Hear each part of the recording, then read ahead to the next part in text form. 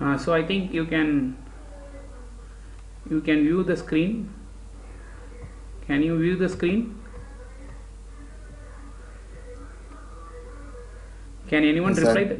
Yeah, you can view the screen now.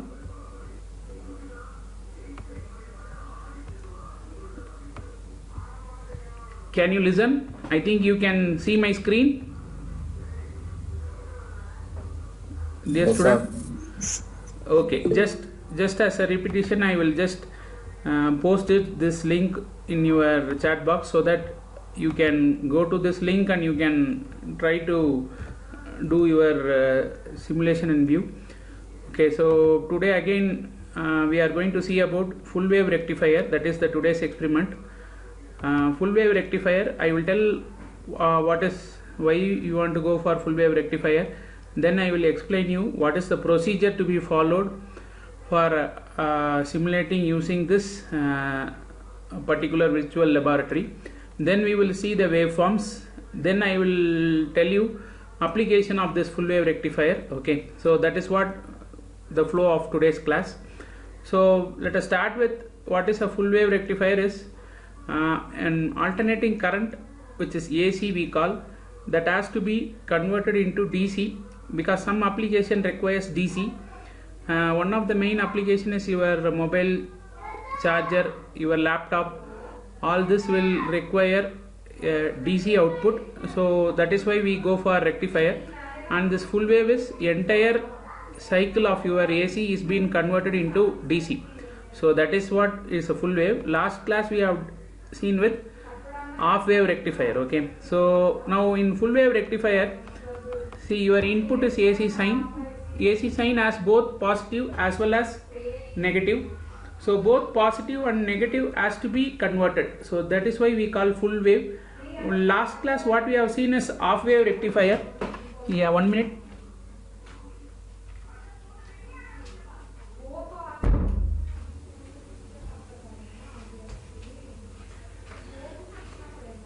So in last class we have seen about half wave where your negative half cycle is totally cut. Only you got your output in your positive half cycle alone. So by this what happens is the amount of DC will get reduced. So in full wave rectifier uh, you get an entire so negative half cycle also is being brought to positive half cycle. So there is no alternating in nature or there is no negative part. So that is why it is called as direct current. Okay. Then how you are going to do this is you go for full wave rectifier circuit. This is the circuit where I, if there is two DC possible then you can use one for positive as well as one for negative. Okay. Uh, we will go with commercial way of how to do this. We will have a transformer. I think you all know you have your mobile charger where your 230 volt AC from your input side. You take this and this 230 volt I doesn't require I require only to charge your mobile phone as well as laptop is around maximum of 12 volt and minimum of 5 volt. So what I will do is I will take a transformer. And transformer is a device where you can step down or step up. So in our application we require only step down. That is from 230 volt AC I will step down. So stepping down is by number of turns. Okay if you increase number of turns on secondary side then it will step up. When you decrease the number of turns on secondary it will step down. So that you can see here uh, this is we call it as primary. There is more number of turns. In secondary I reduce the number of turns and I take a center tap which means I will start from here my winding. Intermediately I will take a outlet that we called as center tap. Okay now this how it is look. So when you give AC supply this will enter in this particular direction. Dot is nothing but entering direction it is mentioning.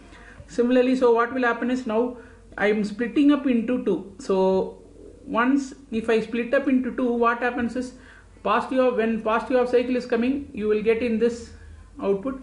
And your negative of cycle again you will get it in the same fashion. So now I am just by putting two diode I can solve this problem okay? So one diode for positive of cycle and one, one more diode for negative of cycle so this is my final setup so I got the output from my transformer R input side so this is being given to this four diodes you can see as D1 D2, D3 and D4. During positive of cycle, your voltage will enter through D1, it will pass to load R and then it will come to this point and D2. So the diode D1 and D2 gets forward bias whereas diode D3 and D4 will be in reverse bias. See, if in that case what happens is your output will be from input side it will pass through this diode 1 please see the direction of the current entering the R. So current is entering in this direction. From D1 it is going to R. Okay? So convert from AC to DC what should be there is always current direction should be in the same direction. Then only you call it as DC direct current. Okay? Now you can see diode D1 is conducting via resistance R and it is get closed with D2 we all know that only if there is any closed loop then there will be a current flow. If there is no closed loop then there won't be any current flow. So you when you take from source you have to pass to all semiconductor device and then finally you have to close it. Then only you will have flow of electrons so during positive off cycle I repeat starting from here it enter D1 and then resistance and then finally D2 so negative off cycle what happens is diode D3 and D4 will be at higher potential compared to D1 and D2 so what happens this? See from the now your voltage will be in this direction i am right? So during positive of cycle your voltage was in this direction. In negative of cycle voltage will be in this particular direction. So now this is ma maximum with compared to this. Initially this was maximum with respect to this. Now it has interchanged because your input is AC now now this direction there will be flow of electrons and D3 is conducting see across the load the direction is same as compared to the direction when D1 was conduction. I'm. I'm right. See, you started from here and D1. So current was entering this portion and leaving this portion.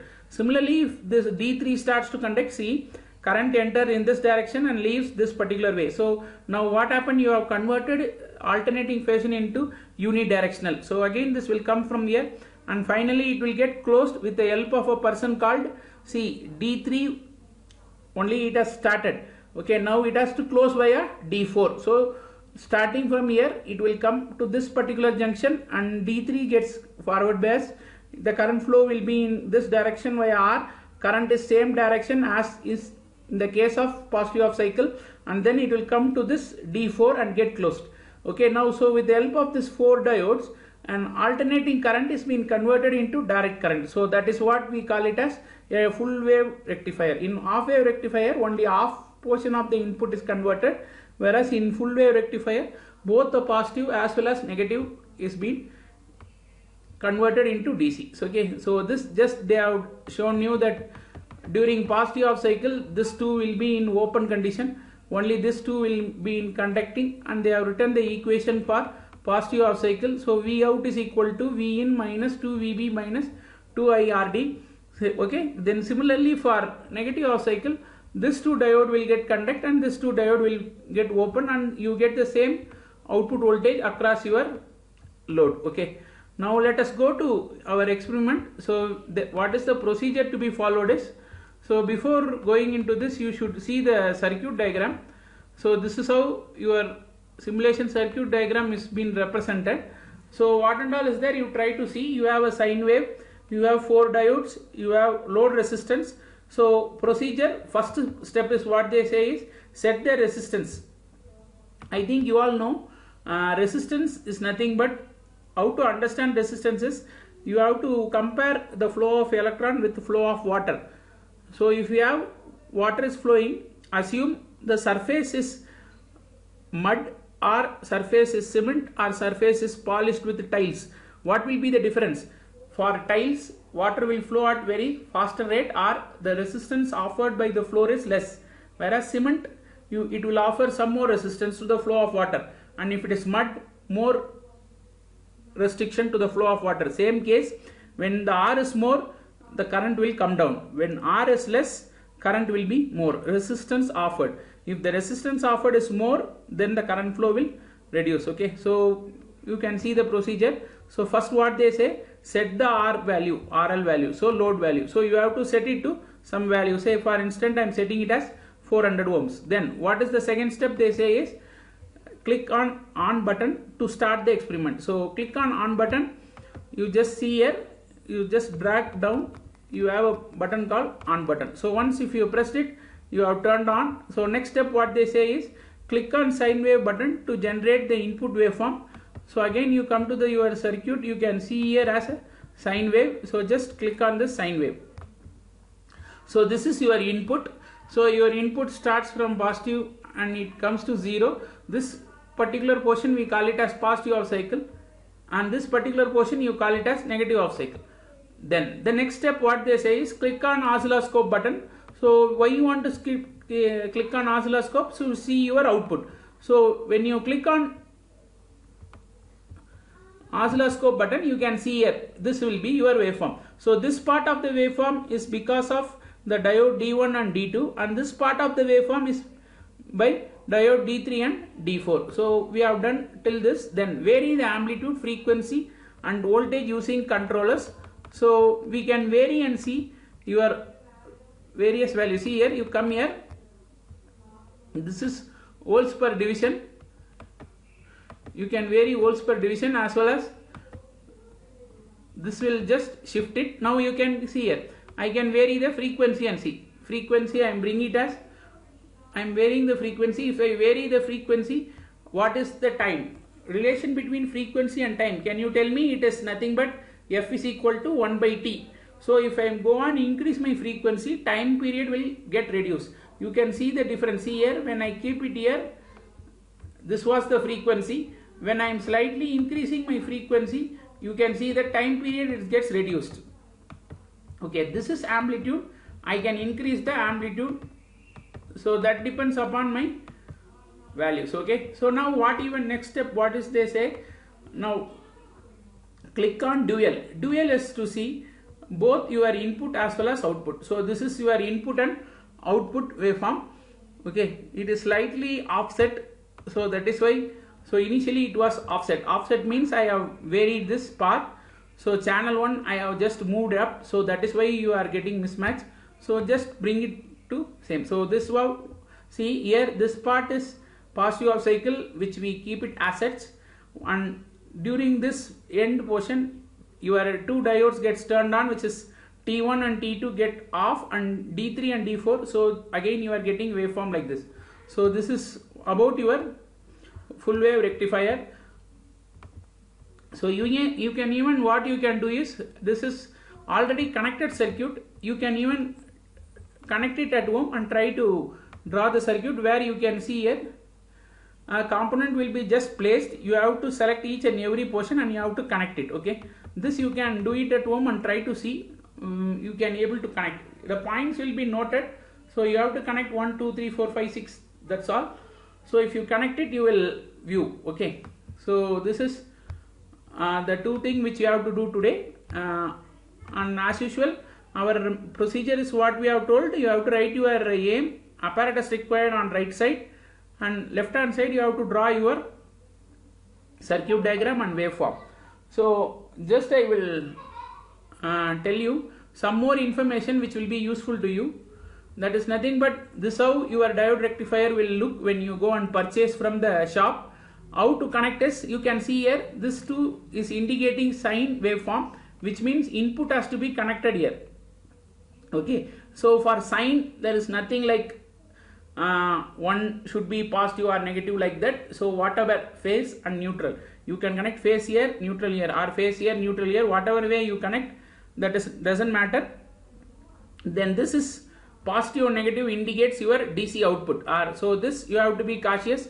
So only from this you have to take it and give it to load and finally you have to close it. So this how the circuit will be looking. Okay now uh, even this uh, full wave rectifier I can put a capacitor on my output side so if you put a capacitor on my output side what happens is so you can see this particular circuit diagram. So you can see here now what is there is diode D1 D2 3 D4 all this there. Additionally I put a capacitor. Capa what is the role of capacitor? Capacitor will charge and discharge. One thing you have to remember capacitor is not a source. Okay capacitor can only charge and discharge so it will get charged and discharged. So, so you can see here so initially capacitance will discharge and then capacitance is charging again and discharging so now what happens is rather your waveform touching zero at every instant now the, your output will not touch zero at all. So this is called pure DC. Whenever you, you say pure DC, the DC should not touch the zero at all. It should be in continuous fashion. So this capacitor will charge and discharge, charge and discharge and try to make it as a pure DC. Okay, this is the circuit.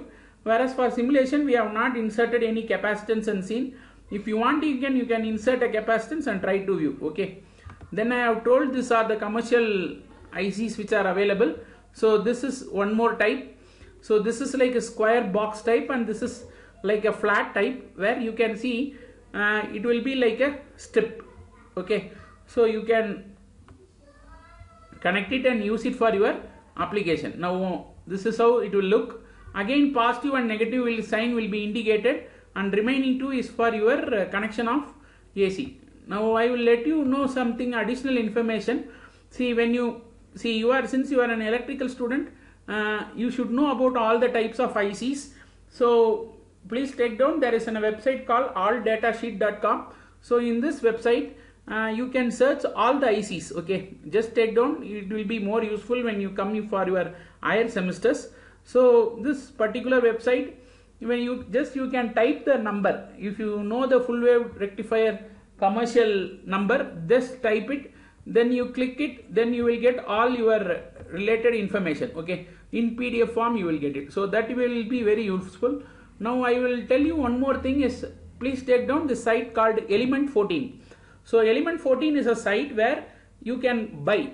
So the all data sheet you can read about the ics and in element 14 what you can do is you can buy okay? All the passive components semiconductor devices everything will be available commercially here. So you can click on it and if you want you want to buy a diode then just click on this diode. It will show about the ratings and the price detail and all. You can directly buy okay? So this uh, element 14 is an indian site.